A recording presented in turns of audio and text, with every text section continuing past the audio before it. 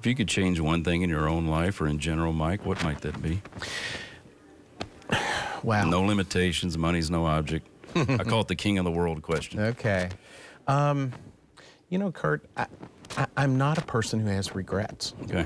Um, so I'm not sure I've got an answer for that. And I don't want to sound like I'm egotistical with Right, that. right. Um, you know, there's sure, there's things in my life that I wish I would have, um, you know, I wish I probably would have paid more attention to uh, the, the physical fitness in terms of mental fitness. You know, I try to do that, but um, I haven't run any marathons lately or anything like that. Um, I walked one once. That's another show.